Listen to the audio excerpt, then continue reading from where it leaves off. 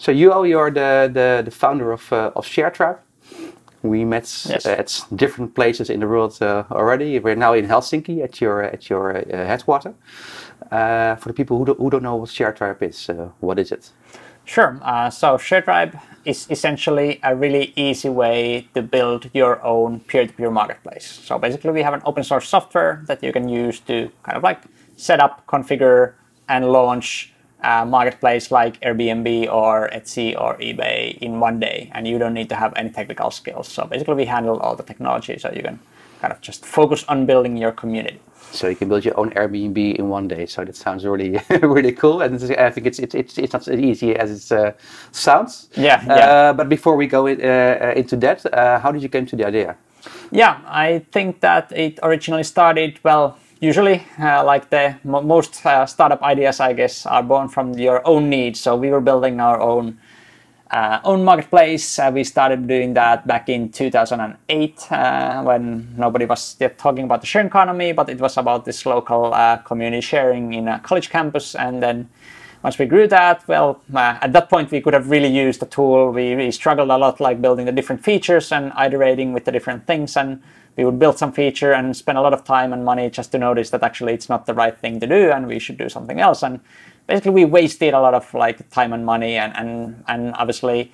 Uh, we also uh, later encountered lots of other entrepreneurs and, and realized that they had all these same challenges and then basically lots of people seem to have this this same problem airbnb obviously has been huge and many people these days have the idea that hey they want to build something similar for a specific niche so we thought that we should really help them so they don't have to make all the same mistakes that we did So you wanted to build your own marketplace, uh, and then you're wasting lots of time and money, and you also saw other people wasting also their time and money, and then you okay, everybody is trying to to to invent the wheel again. Uh, Yeah. Why don't make a open source uh, wheel so everybody can use it, and then a lower threshold for people to start. exactly And and and, and you said uh, uh, in in campus, uh, what you what you studying over there? Yeah, so I was studying in the Aalto University here in, in Helsinki. So it's kind of like a mix of, uh, it's a program called Information Network. So it's a mix of business and technology and design and communications, which I think is a perfect curriculum for an entrepreneur.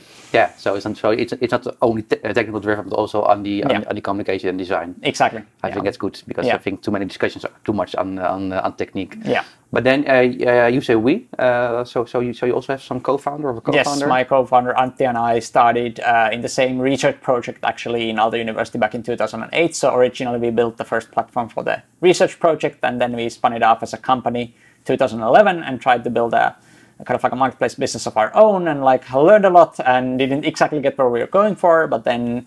In 2013, we really moved to this current model, uh, basically helping other entrepreneurs and small businesses to build their own uh, niche uh, marketplace websites. And and what what, uh, what was your original idea to, to uh, for your own marketplace that you tried to build? uh, it was uh, more this kind of like a instead of like focusing on one vertical we focused on like local but horizontally so you could basically share lots of different things in a really trusted community of college and so it's kind of like google plus of, of sharing economy somehow that you would have these different circles and you would have different trust levels so you trust your students from the same campus more than you trust other people that was a really bad idea by the way like i Why? Why- I, I, I, what didn't work? yeah I, I, I don't believe in that anymore. I feel that what is working is when you focus on one vertical, because like renting, uh, like for instance, your apartment is really different from renting a power drill or offering a service or like selling used goods. And like we, we basically had all of these in the same platform.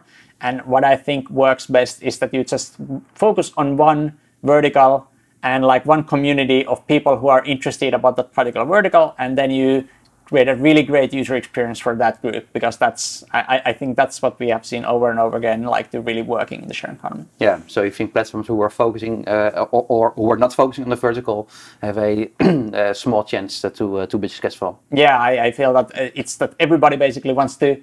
The, so many people I've encountered who wants to build this kind of like a Facebook for sharing. Like, wouldn't it be so convenient if I would get all these different things from the same platform? So people would just list all the things they own to the same platform. But that's it's just like obviously it's a nice idea, and if you would just get all the like billion people there, then it obviously could work. But it's just too big of a struggle to get those people there when you don't have a value proposition mm. that works for everybody. So you really, it's way easier to create a good value proposition when you're tailoring it to a specific audience, like only surfers or only people who have dogs or only mm. par parents of small children or so. Yeah, yeah. As, uh, and do you think like like uh, big companies with a big user base like Facebook are able to be, uh, uh to be successful in in uh, in these broad verticals, or, or, or, or do you think they also have the same the same problem? Yeah, I think that well, obviously, like Facebook has been uh, successful definitely in their their own field and, kind of like getting all people because it's it's a really different type. You don't really need the uh, offline interaction, and you don't. So it's it's more about just kind of like really free form communication online, but like the offline interaction is super different, and really weaving that into the platform's DNA, how the transaction flows, at which point, what what steps do you do online, what steps do you do offline. There's so many kind of like these intricate little little details that you need to get exactly right for your specific vertical for it to work. Yeah, yeah. So, so, so, so that's also the the, the, the difference I think with the whole uh, sharing, collaborative, platform economy, just uh, how you want to name it. That's that's uh, normally it was with, with, Facebook online meet online, yeah. and now it's it's it's online meeting the physical world with all the uh, challenges and, and opportunities uh, uh, together. Yeah, exactly, and it's also what many platform founders that I've been talking to have also realized that it's just so different when you go to a new city. Like I was talking to Joel uh, Sarah from Eat With, and then they basically said that it's when, whenever they launch in a new city, they need to completely adapt the platform and their concepts often really really change their strategy how, how they approach like user growth and how even the user experience works because they just the needs are different like and and that's something that many people uh, don't realize. In, in fact like the I, have been interviewing recently like lots of founders of success, successful marketplaces and lots of, what lots of people say basically that what was the biggest mistake I make, and, and everybody says that yeah, well I, I tried to go international too early, and like everybody they are they just waste too much by actually trying to scale too fast. So yeah. it's actually super interesting how with marketplaces you actually need to go super slowly in terms of like the kind of like the local and, and, the international growth. You just really need to get the concept working and get the liquidity, and, and only yeah. after that scale. Yeah, but do you think also the promise of, of online peer-to-peer marketplaces that they're super scalable is also a little bit too overrated uh, because it isn't that easy to scale uh, to a global level.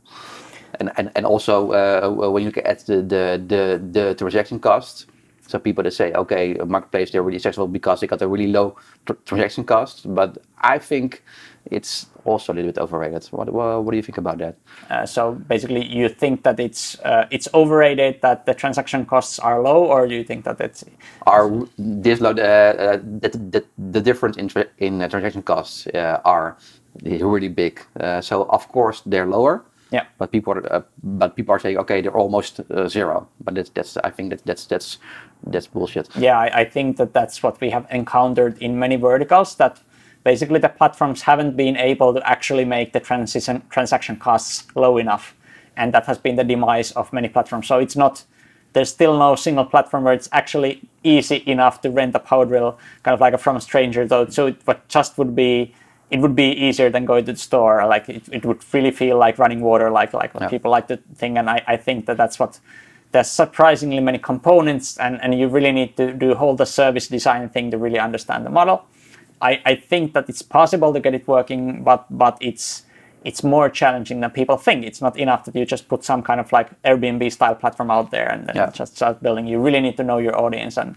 and, and know their needs. And, and obviously then the problem becomes that than people in uh, Stockholm might be a bit different from people in Helsinki, so you need to do a bit, bit different uh, work with them. Yeah, so yes, the difference in cities in the same country, uh, but when you want to scale abroad, then you got even more uh, more challenges in that. exactly, I remember that TaskRabbit, like when they were scaling their task marketplace, I remember that they they didn't go city by city, they went zip code by zip code because they said that, okay, so they really need to go super hyper local yeah. to get it working. Yeah, yeah, yeah. So it's, it's, it's, it's, it's a kind of fairy tale that it's really easy to build a uh, ultra scalable platform yeah. Uh, in sharing economy. Yeah, totally. I, I think that in in many ways also, and obviously the problem with the network effects is also because like Facebook has this global network effect. So once everybody from every city, like and, and every country is on Facebook, then it's really difficult for them to move because they also want to interact with people who are kind of like living in uh, another city or another country, and so it's it's really helpful that they are on the same platform. But if you're looking for a haircut you don't really care that much if you're in Helsinki. Like if there's a great platform in Stockholm, but it doesn't really help you at all. Like because you there are many of these local services that you only need in the city where you live in. So the network effect of these platforms is not as strong when they go global because they need to build it separately for each city. Yeah, I, uh, I think the biggest effect is, is, is, is the branding effect and also some collective uh, uh, uh things uh, you can invest collectively, uh, like in, in, in, in policy making, like in lobbying, a little bit also, of course, in your IT infrastructure. these are the benefits, but in the end, because the transaction is local, the network effect is, is, is almost yeah nothing. Yeah, def definitely. And obviously, the, the local uh, laws can also be an advantage of local platforms. So when you start from your own city and your own country, you know how it works. And when you go to another country and then you realize that actually my platform is illegal here because there's there's a whole like different set of rules, or at least I need to drastically adapt like the user yeah. experience. Yeah. And that's a huge challenge yeah. also.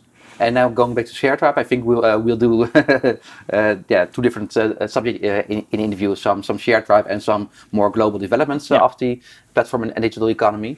Uh, so you had the idea, Uh, then you tried to, to build something uh, yourself, but then it really broad and it didn't work. Yeah. Uh, and then you thought, okay, I see everybody struggling with building their own marketplace. why can't we just build the WordPress yeah. for marketplaces? Yeah, really short.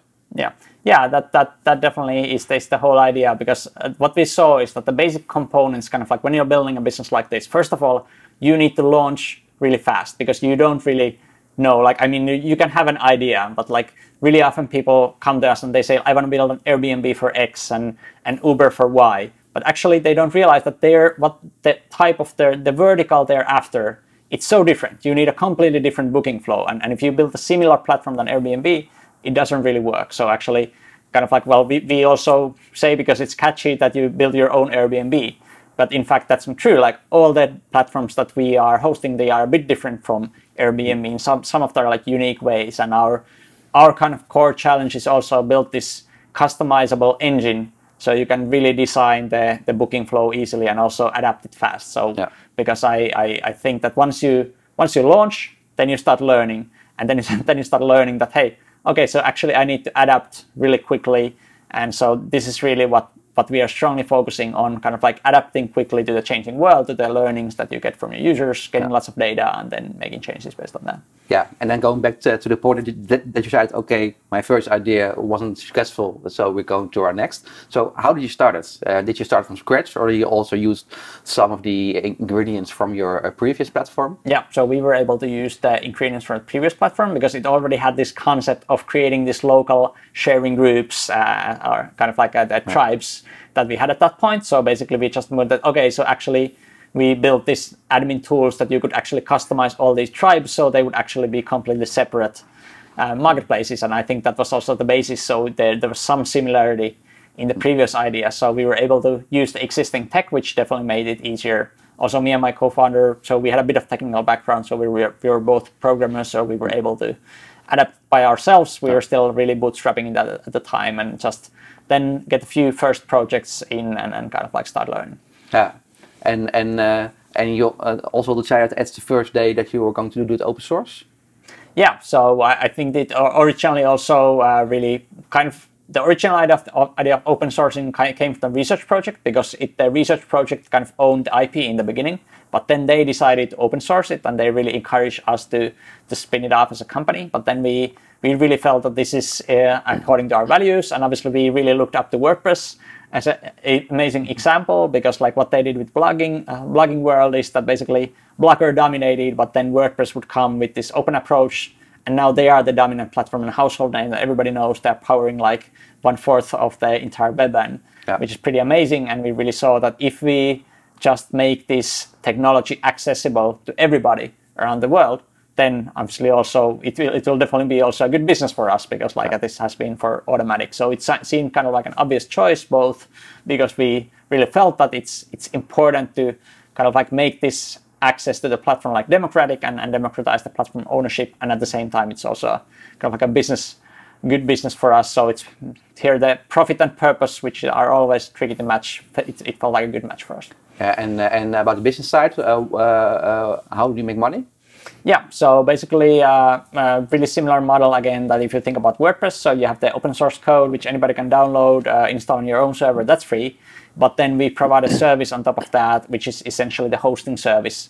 So basically uh, you can, and that's the part where you can just, you don't have to have any technical skills. You can just go to our Sharetribe.com website. You can, in few minutes, you can get a fully functional peer-to-peer marketplace website and then we have the whole admin panel, so we can just customize everything. You, again, you don't need to touch the code. You can ma match everything to fit your specific niche, and, and you can even launch it in the same day if you if you fish and eh, if you have the audience zone. You don't have to have a sysadmin. You don't have to have technical support. You don't have to have all these things that are obviously super expensive. And this is something we charge for then, kind of like a monthly monthly hosting fee for offering this service. Yeah. Uh, but but the, uh, there are many bloggers in the world. I think the, the market for marketplaces is, is is not that big.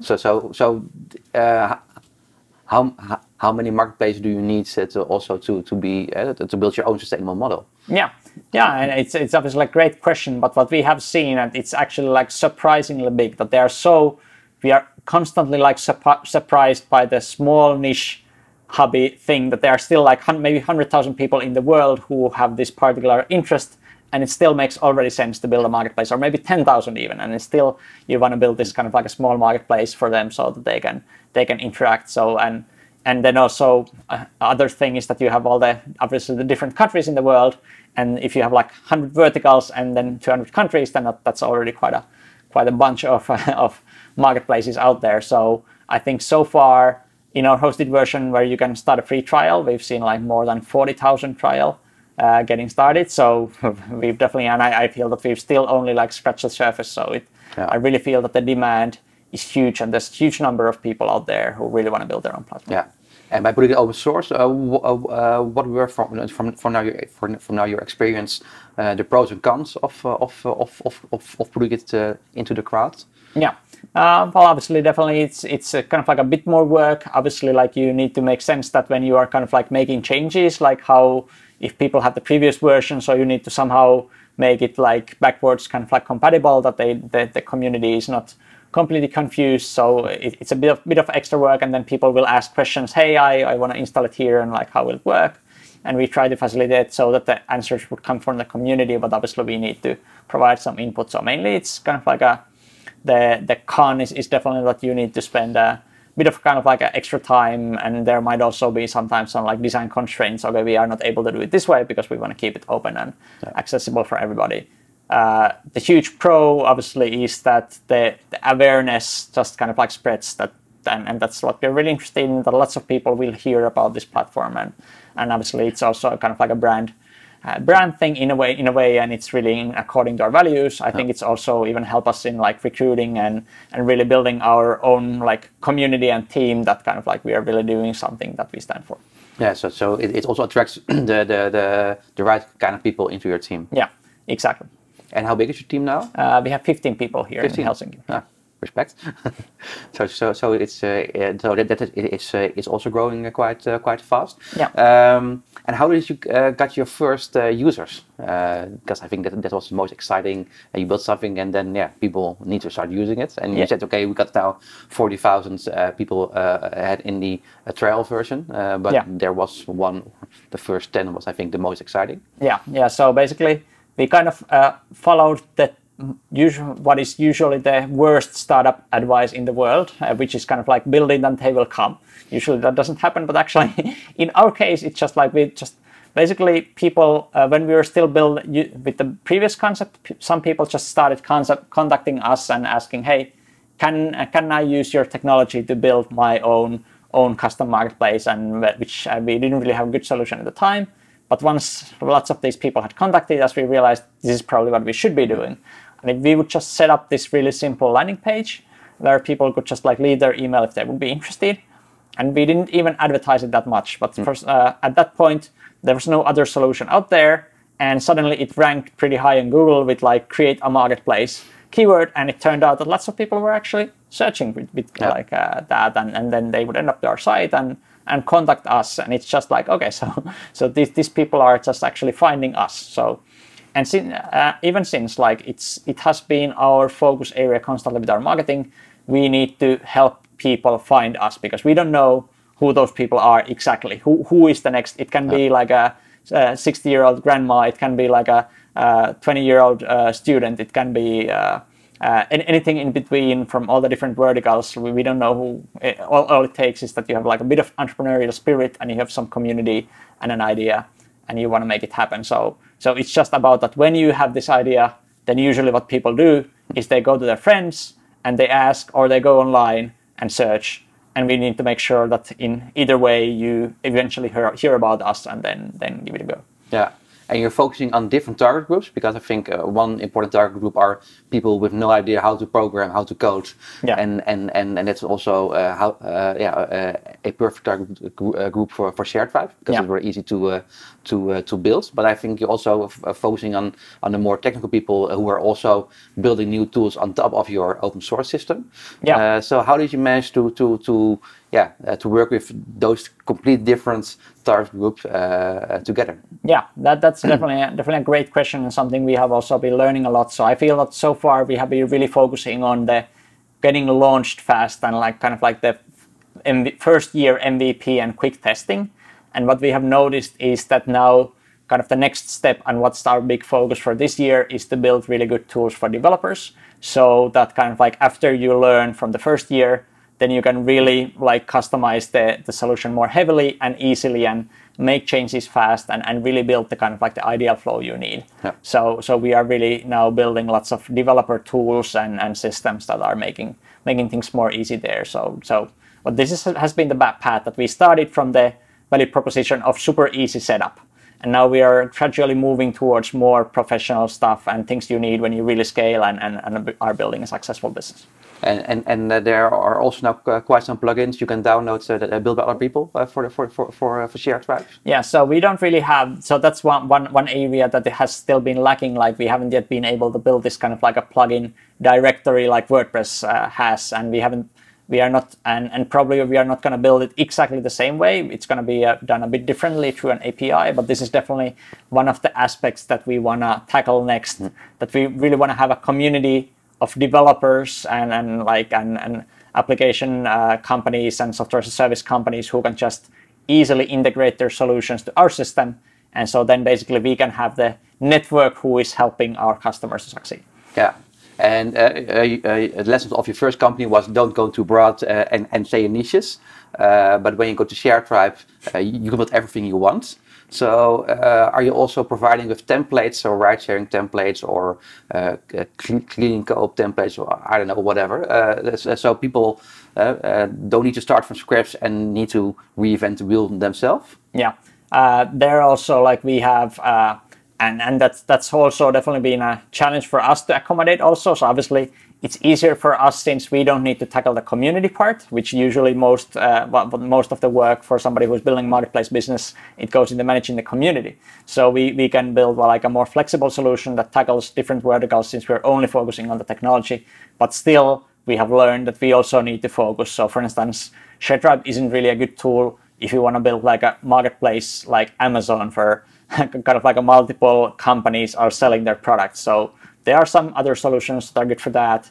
You shouldn't really use us uh, us for that. We are really actually actually even more strongly focusing on kind of like uh, services and especially location-based services and rentals and, and where the heavy components are kind of like the calendar and scheduling so the time time and location aspects of that and which are kind of like and and, and we feel that uh, that this, this is kind of like, uh, for instance, this year we are really focusing purely on this segment to really kind of like provide good user experience for them and, and, like having a having a great template for them. And uh, because uh, a, a, a schedule platform is more than only technique, uh, I think the biggest mistakes many corporates make, they think, oh, we, we're going to build our own ride sharing uh, of car sharing platform, and then they invest 1,000 euro in developers, and then there's a beautiful platform, and then nothing happens. Yeah. Uh, I also see you really busy with the Shared Academy. I think that's also the reason why you're doing that. So how do you manage to because uh, the uh, I think level or, or, or, the knowledge level and experience level of your user is quite low mm. uh, on average um, yeah. uh, in how to make a, a successful marketplace. Yeah. Uh, so how do you educate and how do you help them to make also a successful marketplace because also your business model, if they're Yeah. all making a nice uh, platform but, but but with nothing work, they will all leave you in uh, in, in three or six months. Yeah, totally. And I like we we really started thinking about our product as as technology, and and now we actually think it more of as a method, like a method of building a successful marketplaces. Obviously, we have ourselves learned so much. We built marketplaces for al- almost ten years now, and like there's so much so much there to learn. And essentially, we are kind of like building that all all into the product. So it's it's all about. Quite often, we say to people when they come to us that hey, actually, you shouldn't really build the platform yet you should first you should really do these validation steps you should talk to people like before actually launching any platform you should validate the concept and we are really trying to it, it in a bit similar way than how lean startup works. So we kind of like have this lean marketplace concept essentially. These are usually the steps that you should take to learn as fast as possible to validate the concept as fast as possible get up and running as fast as possible and and we really try to build the also the technology so that it supports this type of approach and is kind of like constantly saying in the future i imagine that we'll have some like marketplace analytics which will compare the data of your platform with data of another platforms. And then we will say hey it seems that now you are kind of like you have issues with uh, you have nice amount of users coming in but you have some problems with liquidity so people are not really completing transactions. So you should probably try this or that. And this kind of like a basically provide the advice because obviously that's ultimately the product that we want that we want people to succeed with their platforms. Otherwise we don't have a business. Yeah. so that's the, definitely what we're fo- fully focused on. Yeah, and probably that's also a new part of your business model, uh, this, uh, consultancy, but also maybe some some some data analysis uh, of the uh, of the of the users. yeah definitely. There's obviously there's lots of lots of interesting things we, we can do there and provide a lot more value as we are constantly getting lots of interesting data. And, and I, I think that we can use this data in a way that will will benefit everybody and, and that's that's definitely something we're really interested in Yeah. Uh, uh, and and and uh, you're now live for how many years? Uh, 2013, 14. You yeah started. so the i would say that well the company has been around since 2011 but we had a bit different concept so the current uh, current platform where you can just go to online and, and launch your site in five minutes so that we launched in november 2014 Yeah. so it's been how much two and a half Two and years a half now years. Yeah. yeah. so Yeah. Quite a while Cool. And um, how, uh, can you also share some figures about how many uh, marketplaces are are are, are now uh, behind uh, the uh, the trial periods? Yeah, sure. So we have now uh, 700 uh, paying customers right now. They come from 50 different countries around the world. So actually, we don't have a huge market here in Finland. So it's only 2% of, of everybody. So uh, most of them, I, I'd say like 35% come from US. And then after that, uh, Australia, Canada, UK, Germany, France, uh, Spain. So the big, kind of like big Western markets. So we don't, uh, there's huge demand coming from China, India, uh, Brazil, uh, Nigeria, places like this, but we are not yet fully equipped equipped for those. So we don't have like good payment solutions and other things for those. So, but there would be so many opportunities, and, and we hope to go there eventually too.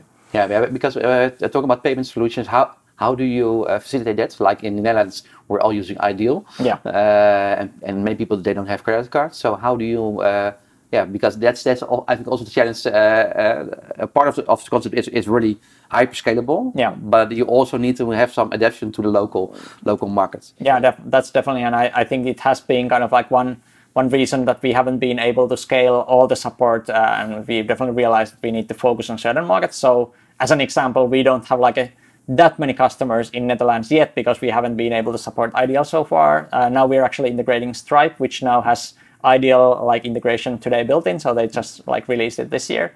So this will make it even easier for us to also support the Netherlands use base. But but still, I think that for now we are pretty focused on the kind of like the Western European markets plus uh, Northern America plus, plus Australia because these are the easiest market from a regulatory standpoint, from like the payment standpoint, from a technology standpoint for us to us to support and, and obviously there's plenty of demand and we, we just cannot like we, we really need to take our own medicine and not not try to do uh, everything at once but really focus Yeah. And and what are your biggest challenges right now? I think it's uh, all comes back back down to the helping people succeed. So this is definitely something that we are seeing that lots of people come to us and they they kind of like they they, want to build a platform, but they maybe the idea is not that solid, or maybe the idea is actually really good, but they just kind of like don't have all the knowledge and we're trying to educate them but but we and, and sometimes obviously also like people just don't have the patience and and they don't really realize what it takes. It is not something that you can actually build a successful business in one year. Like in most cases marketplaces take like three to four years before you can really like get it get it going. That's what what it took for like airbnb and and most of the other players. So so you really need a lot more patience than in with compared to many other like online businesses. And that's uh, that's obviously a struggle and, and like as something we are constantly working on like how can we better help people not all, only with the technology but also with the business side. Yeah and um, hey, uh, you're talking about the Airbnb or the, or the Uber of, of X, so we are, and we are doing that because everybody knows what, what Airbnb and Uber yeah. is. I, I don't think if you want to be be, uh, be compared with Uber, but that's another discussion, yeah. I guess. um, but uh, I think with the with the sharing and collaborative economy, we're now at a time where we can go two directions: uh, yeah.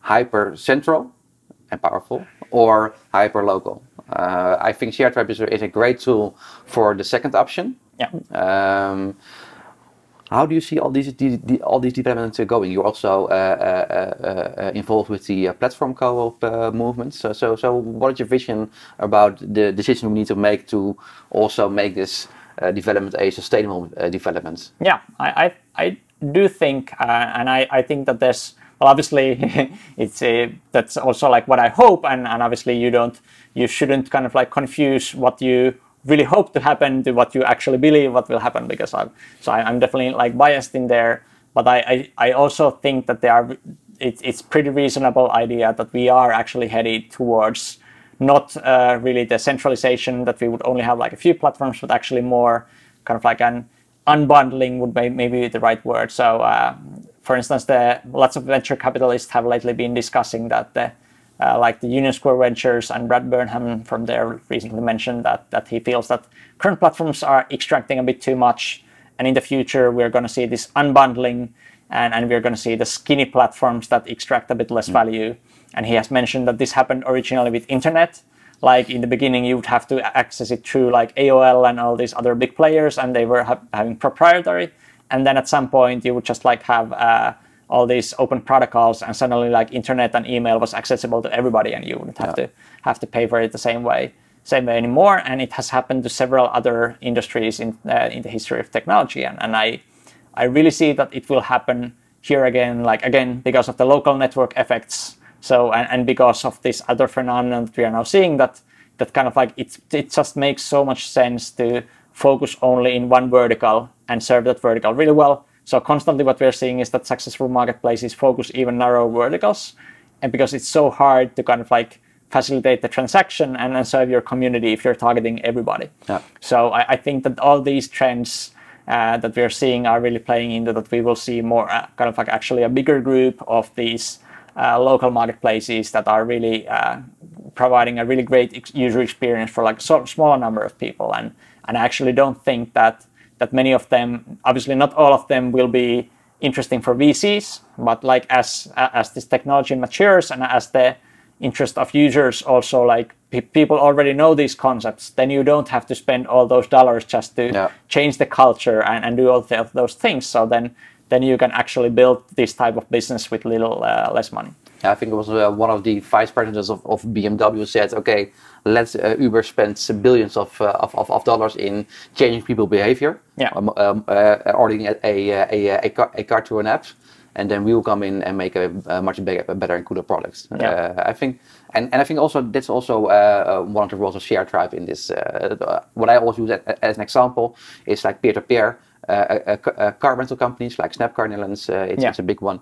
their ambition is to be the biggest in Europe, but in yeah. the end, I will never cycle more than five minutes to get a shared car. Yeah. so what do they offer? They offer the, the software, the insurance, the reputation systems, and the critical mass. Yeah. The software, we got Sharetribe. Yeah. Uh, the uh, insurance in the Netherlands, you see all the insurance there. First, they were working together with uh, the, the platforms. Why? To learn. But now they're all uh, doing new, new experiments, uh, putting the sharing insurance into the hands of the people. Yeah. Because that's a much bigger market than only the platforms. Uh, the reputation systems, uh, we've now, uh, like uh, Deemly in, in, in, in um, uh, Copenhagen. I also Yeah. interviewed, and, and you also met, Yeah. met Sarah.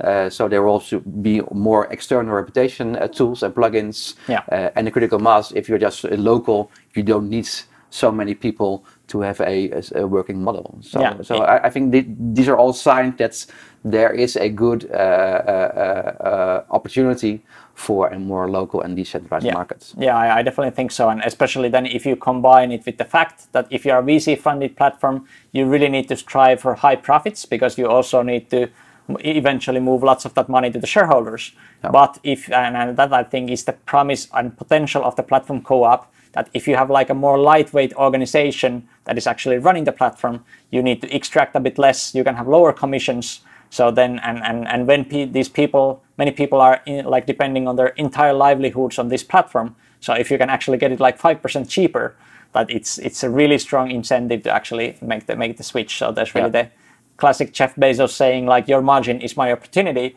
I really see that this is the opportunity of the platform co-op movement.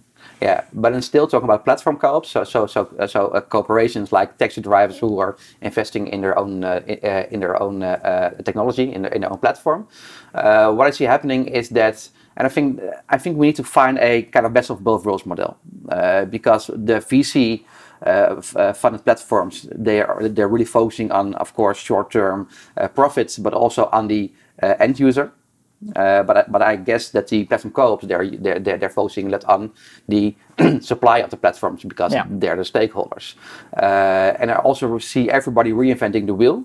Uh, and I think when everybody is reinventing the wheel, they will never be able to build a good alternative to the VC-funded platforms uh, because they see really crappy. Uh, also, like uh, with Green Taxi, respect what they're doing, but when you watch their website, it's just a really crappy, bad design website. Yeah. Uh, and in the end, I think the end uh, user will only go for the best solution. And Yeah. uh, so, so, so uh, fair will never be uh, enough added value for people to uh, to to change behavior. So, Yeah. so what do you think? And, and of course, uh, share uh, could be a, a good solution for that, but also beyond Sharetribe, what do you think are things we can uh, uh, uh, invent or agree uh, that we also can make all these small initiatives uh, stronger together to also build a fair alternative. Yeah, I, I definitely think that you need to have this kind of like an ecosystem that is is helping each other out, and so kind of like obviously technology is one part that you need to really get the cost of of developing the platform technology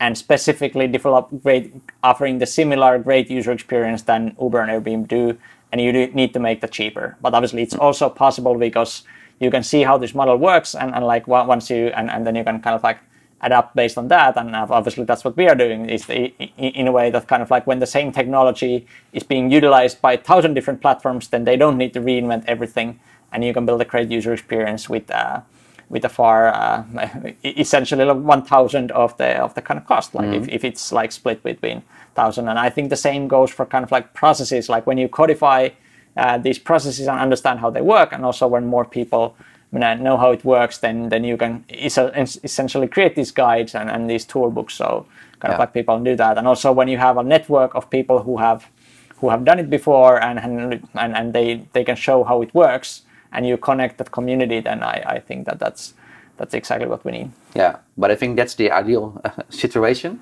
What right now is happening is that is, is the same like also in, in, in the global sharing economy. Yeah. They're all entrepreneurs. They're all really enthusiastic about their own business. Yeah. So they're all really looking uh, to their own projects and they forget to to to to, to look uh, outside. And also was one of the problems with the uh, what what they also thought with the uh, the platform co conference in New York uh, last November 2016 uh, that the people who are giving money to the platform co-ops they uh, one of the conditions of giving money was okay but you're not going to share anything so uh, so I think we, we need to to to really uh, address the added value of sharing uh, and, and collaborating uh, uh, really to all the stakeholders because because now they don't see it. Yeah. but that's that's that's my opinion. And but but also if you look to to share tribes, uh, so it, now it's it's a traditional cooperation. yeah yeah Do you also think about okay maybe we can build maybe with blockchain technology I don't know and let's put the blockchain also into Yeah. the the interview